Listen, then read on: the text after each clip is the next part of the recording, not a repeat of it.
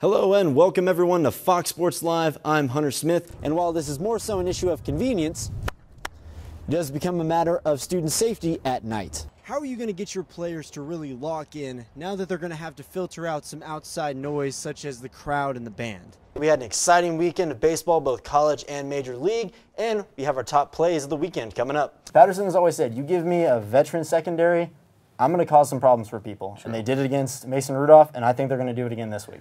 The storyline of this season has been TCU has not been able to put together a complete game. Rams got off to their first 7 0 start since 1985.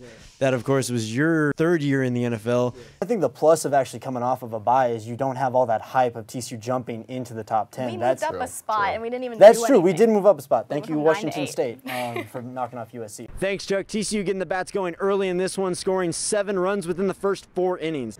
Hey everyone, I'm Hunter Smith for Fan Media. TCU taking on SMU this weekend in the battle for the Iron Skillet. Now, this is a textbook definition of a trap game because TCU is clearly the more talented team, but is also taking on Oklahoma State next weekend in Stillwater.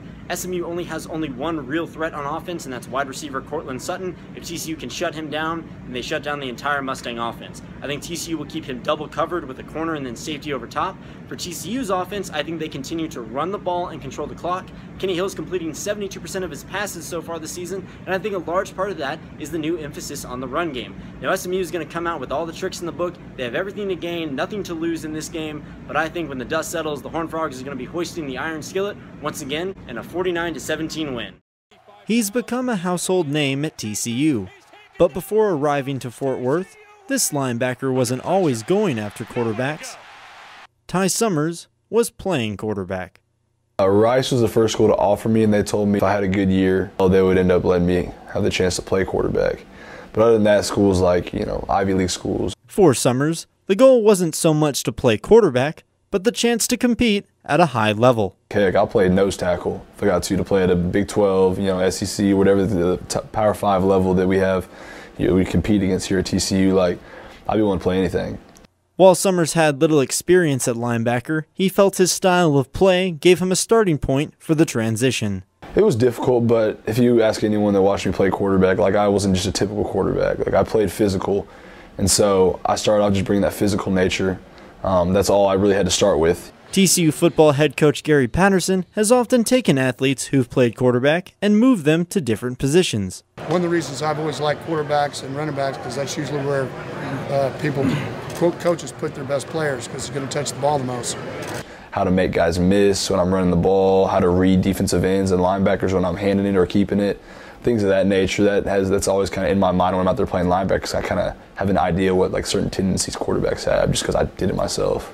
At quarterback, Summer says he had to know all the responsibilities of everyone on offense and says it's more of the same on the defensive side. So I've got to know what the defensive line do, is doing for to be able to play the run to know which gap I'm responsible for, and then when it comes to pass, I need to know exactly what the safeties and corners are doing. That way, I know what my pass responsibility is. Pretty much the same thing, just on the opposite side of the ball. Leadership and communication are two key skills Summers developed while under center. So that being said, like I'm always having to make sure I'm reach turning around to the safety, communicating with them, and then also communicating to the defensive line, giving them the strength call, which way we're slanting, things of that nature. So I feel like as the linebacker, I'm also out there having to communicate to the whole defense as well as like the quarterback when I had to communicate to the entire offense. Hunter Smith, TCU Sports Now. The Harrison parking lot right behind me will be closed off in May after graduation as construction for a new performing arts center takes its place. Now this will cause students in the fall to have to park farther away from campus and while this is more so an issue of convenience, it does become a matter of student safety at night. I mean, I like walking too, but you know, sometimes I get a little nervous when it's at night. Currently, most students park at or near the Harrison lot for either night class or a late night study session at the library. I usually come to the library more towards the night end. I usually park in this first lot right behind the library. However, with the upcoming changes in parking happening in the fall, students may have to be more cautious when coming to and from the east side of campus. I always want to have like those um, emergency poles with the blue lights at least somewhere near me in case something, God forbid, does happen. Deanne Jones of TCU Police says they will be taking steps to adjust to the upcoming parking changes.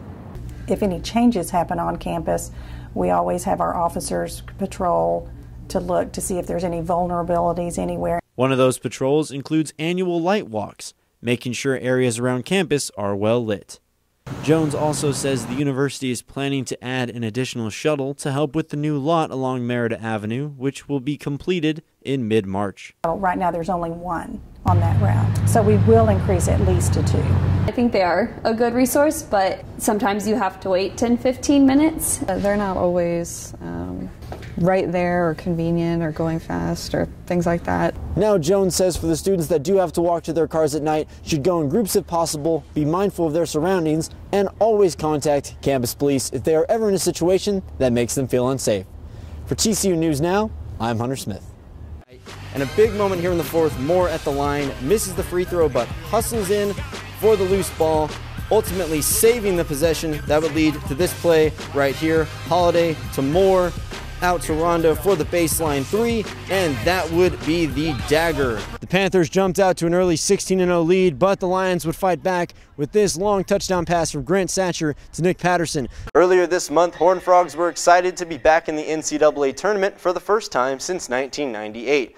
But men's basketball suffered an early exit with a 57-52 loss to Syracuse on Friday.